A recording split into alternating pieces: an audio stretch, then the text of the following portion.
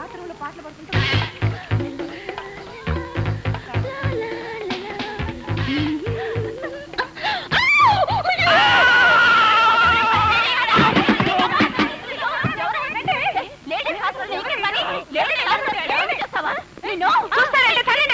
అమ్మో ఆగండి తల్లి ఆగండి. ఇంతమంది ఆడపిల్లలు కలిసి కొడితే ఒక్క మగాడిని తట్టుకోగలనా? ఇంతకీ ఎవరు నువ్వు?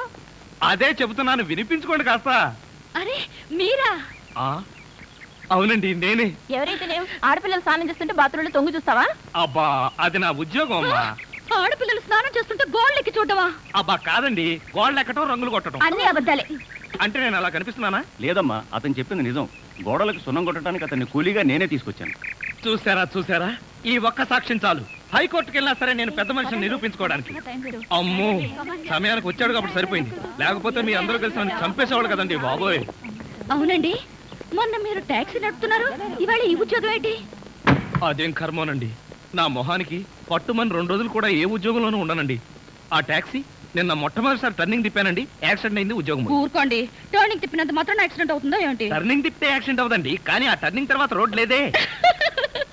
అంటే ఈ ఉద్యోగం కూడా పోయినట్టే. ఈ ఉద్యోగం ఎందుకు పోయినట్టండి? ఎందుకు పోదండి? ఆడవాళ్ళు స్నానం చేస్తుంటే గోడకి చూస్తే ఉద్యోగం పోదా? ఏమండి మీరు బట్టలు విప్పుతున్నారని తెలిసి వెంటనే కళ్ళు మూసుకున్నానండి. మీరు మొత్తం బట్టలు విప్పిన తర్వాతే కళ్ళు తెరిచాను. అంటే చూసేసారా అయ్య బాబోయ్ చూడదండి. అయ్య బాబోయ్ నేను చూడదండి బాబోయ్